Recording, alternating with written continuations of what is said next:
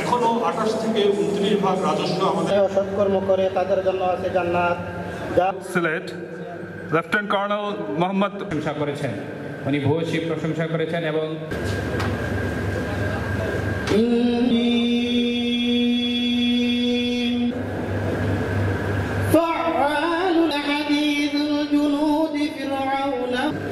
কমিশনারেটের সদস্যভুক্ত প্রায় একশো তিরাশি দেশ দিবস এই দিবস উদযাপনের যে প্রধান আন্তর্জাতিক কাস্টমস দিবসের শুভেচ্ছা এবং আজকের এই মত বিনিময়ে জনাব গোলাম মুনির কমিশনার কাস্টমস এক্সাশন দিবস দু হাজার উনিশ।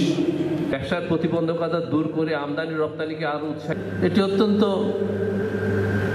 সহ অন্যান্য ব্যবসায়ীবৃন্দ সাংবাদিক জাতীয় রাজস্ব বোর্ড ঢাকা পালন করে আসছে। এই দিবসটি উদযাপনের সাথে নিয়ে তাদের সাথে একটি সৌহার্দ্যমূলক সম্পর্ক ফেরাউনের এবং ক্ষমতা বৃদ্ধির জন্য কাজ করে যাচ্ছে এবং এই দেখা হবে। সই আমাকে ভাত রেঁধে দিবে আমি খাব। সই সকল অংশজনকে সাথে নিয়ে কাস্টমস আমদানি ও রপ্তানি